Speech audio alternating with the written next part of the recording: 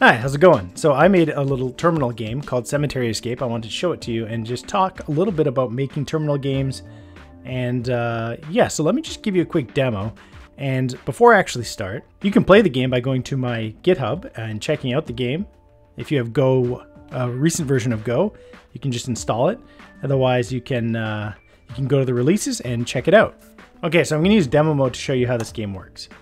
So in this uh, game, you are a little character who has to search tombstones to find a key. So you start off every level and you can look around and there's a door that you want to exit, but you can't exit the door till you find the key. So you have to search the tombstones. So I searched the tombstone, nothing there. Search this tombstone, I found the key, and now I can go to the next level.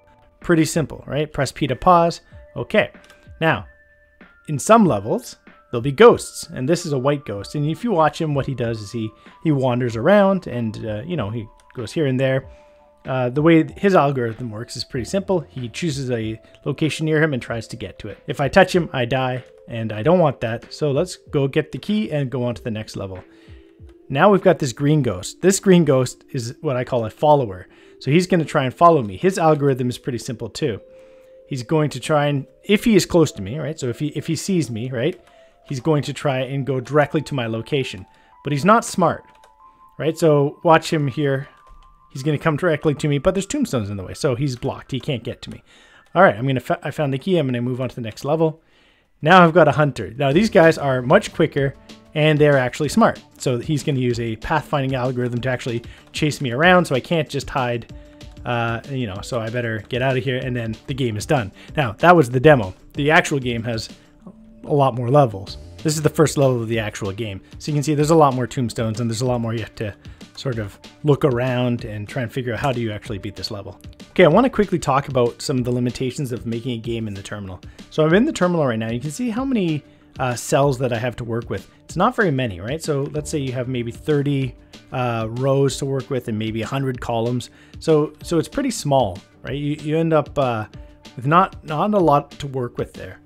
For example, this is me in Vim, right? And uh, you know, every single thing you he see here is just like a single cell, right? Like, and there's there's not that many of them, right? So everything that you see here is a cell, and uh, you only get one character per cell, right? So in Vim, it's amazing that this is just a terminal application application, but everything here is a single cell, right? Like it's it's text that you could copy and uh, you know paste somewhere else, right? So it's not pixels that we're dealing with as our as our rendering primitive. It is in fact a cell and because that's true, because you're working with just cells, that means you can only have one thing at a cell at a time. You can have the letter T or the letter R. You can't have the letter R and T in there at the same time unless you have some kind of glyph, which is a combination of those two things. So while this might look like a cool graphic, each thing at the bottom here is in fact just a single cell. Same thing here in my game, right? So every single thing here is just a single cell, right? Including the wall, right? So you'd have a, a line here, and then a corner character here, and then, you know, a, a pipe character down. Also, my game requires that you have a nerd font, right? A nerd font is a font that is patched so that it can show these different uh, glyphs, different images. Um, but if you don't have that and you press F, then I will just let you play this game without a nerd font. Uh, right, so nerd font, no nerd font, right? And in this, we're just using characters that you almost certainly have, uh, doesn't look as nice, but uh, it still works, right? Another limitation of the terminal is that there's no way to dig back into your rendered output and grab things. So if you're used to working uh, with the DOM, like I am as a developer, you can always query the DOM and just see what's the current state of the DOM. I can't do that uh, when I'm building this game because I can't uh, go to the what's called like the scroll back buffer. I can't go and read that uh, or at least certainly not easily. So I have to be a lot more deliberate about the game state, which I mean is a good practice anyways. If you're doing React or something like that in, in web development, you're not actually reading from the DOM, you have a state and you render to the DOM.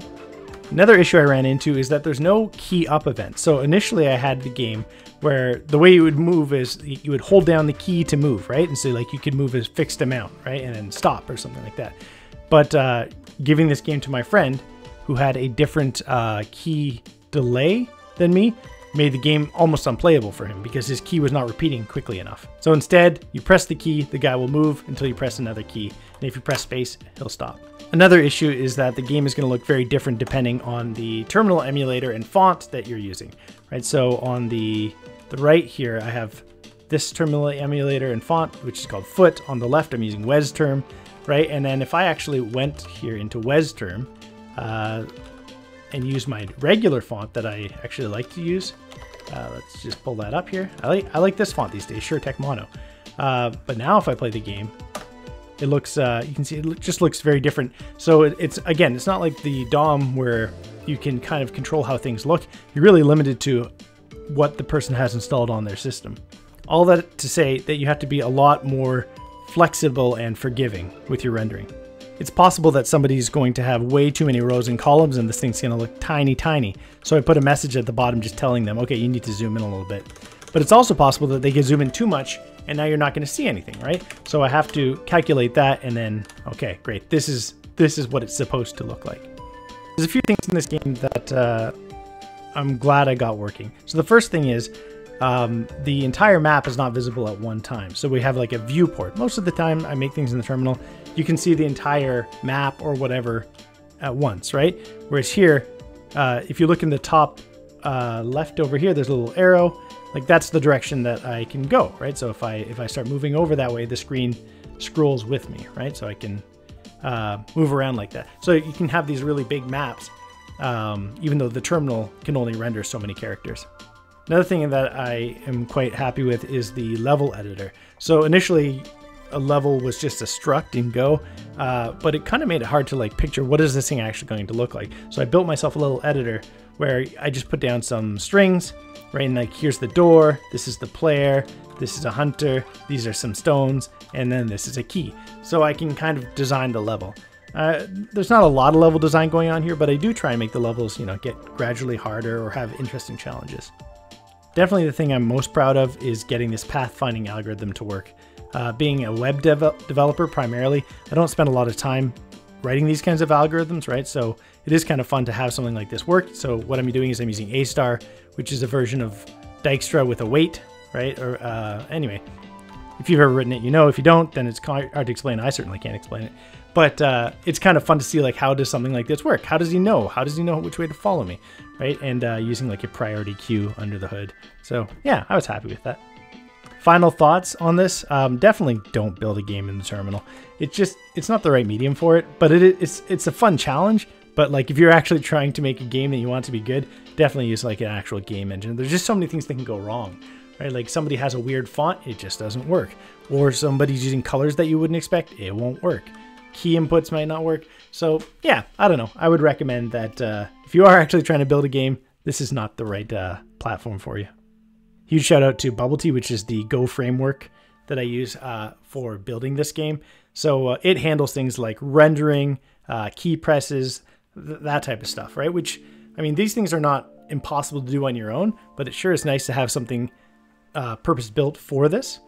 Um, and it's kind of fun to go through their their code and see like how are they doing this. Like, uh, well, here's an example, right? So if I if I run this, right, and uh, nobody's moving right now. Nothing's moving. So is it re-rendering or not? What do you think? Right? And in fact, it's actually doing a diffing algorithm to see like what's actually changed. What do we actually need to re-render? Right? Um, yeah. So I found that kind of cool. I also had fun uh, profiling this thing. Not really profiling, just sort of looking and seeing like, okay, is this going to spin up my fan? Right? So here's the process right there called Cemetery. You can see how much of my CPU it's actually using. Um, which is which is kind of interesting. My initial version of this had it using 20% of my CPU, and that seems like a lot. But the reason was, um, when I was compiling a view, what I was doing was I was just adding strings together, but I was adding a string for each cell. So you know, maybe a thousand strings per render, but the renders every 10 milliseconds, right? So it's it's a lot again, a lot different than web development where you don't really need to worry about these things unless you're doing something really wrong. Whereas here, I actually do have to think about this. So instead of just adding strings together, I use a string builder for the first time, which was, again, pretty cool. Okay, that's it. I hope you check it out, uh, and I really hope you're having a great day. Talk to you later. Bye.